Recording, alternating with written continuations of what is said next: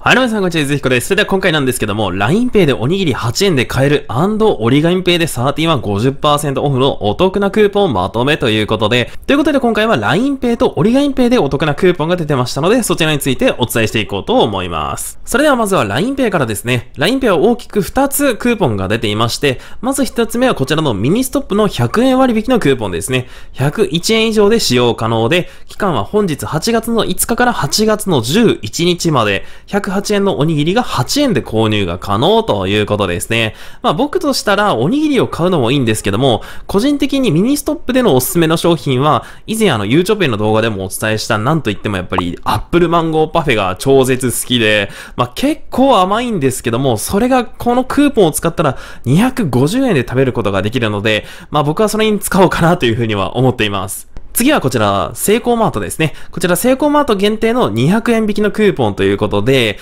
201円以上で使用が可能。そして、期間は本日8月の5日から8月の18日までということですね。いやー、羨ましいですね。セイコーマート自体は全国で北海道と埼玉県、そして茨城県にしかないので、もしですね、お住まいの近くにセイコーマートがあれば使ってみてはいかがでしょうか。ちなみに現在出ている LINEPay で使えるクーポンはざっとこんな感じですね。ドラッグストアのトモズで200円オフ。メルセデスミーの20%オフのクーポン。あの、この2つは多分福岡でしか出てないと思うんですけども、福岡限定の300円オフ、あとはピザクックで100円オフというクーポンも出ています。まあぜひですね、利用するお店があれば LINEPay を使ってみてもいいと思います。そしたら最後に折り紙ペイですね。こちらは折り紙ペイと31で何度でもお得50%オフのキャンペーンが始まります。期間は8月の9日から8月の18日までなので、まあ、今週の金曜日からとなっていますので、日にちはお間違いないように気をつけてください。期間中何度でも可能で、これすごいんですよね。ほんと何度でもという。で、割引の上限が250円となってますので、